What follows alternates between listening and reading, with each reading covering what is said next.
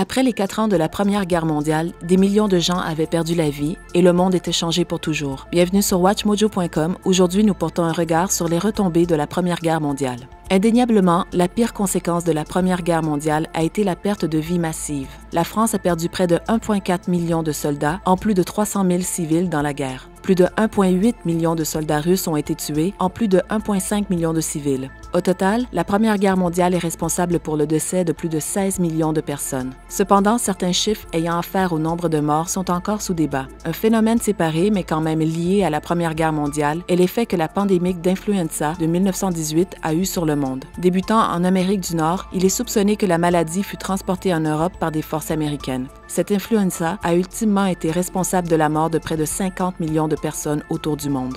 Plusieurs des pays des deux camps ont senti les conséquences économiques sévères d'avoir participé dans une guerre mondiale. Le Royaume-Uni est passé de l'investisseur global le plus important à l'un des pays les plus endettés. Des changements moins concrets pour la Bretagne étaient aussi apparents. Il y a eu une montée de fierté nationale dans certains pays du Commonwealth. Des pays comme le Canada, l'Australie et la Nouvelle-Zélande ont joué des rôles importants dans plusieurs batailles de la guerre. Subséquemment, ils ont profité d'une plus grande autonomie diplomatique dans la décennie suivante. De retour des champs de bataille, les soldats de partout dans le monde étaient accueillis par un paysage social en changement. Les femmes avaient rempli le manque de main-d'œuvre pendant que les hommes étaient à la guerre. Motivés par la chance d'aider leur pays, plusieurs femmes travaillaient dans la distribution de charbon ou dans la fabrication de munitions et ont aussi fourni beaucoup de travail volontaire. Ces nouveaux rôles ont aidé à changer le statut social et les possibilités de carrière des femmes après la fin de la Première Guerre mondiale.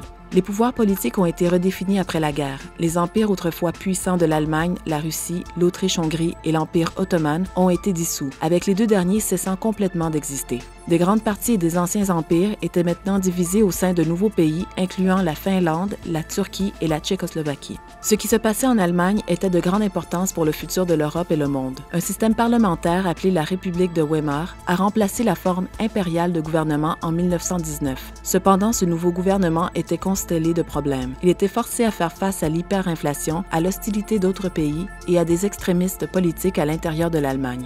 Beaucoup d'Allemands portaient des sentiments négatifs envers le traité de Versailles, qui avait forcé leur pays à accepter l'unique responsabilité d'avoir causé la Première Guerre mondiale. Adolf Hitler et son parti nazi ont utilisé ces émotions fortes à leur avantage, et Hitler a grimpé à la position de chancelier de l'Allemagne en 1933. Hitler a ensuite très rapidement établi un régime totalitaire appelé le Troisième Reich et a mis fin à la République de Weimar après seulement 14 ans. Juste 20 ans après la fin de la Première Guerre mondiale, l'Allemagne nazie a envahi la Pologne et la Deuxième Guerre mondiale a débuté.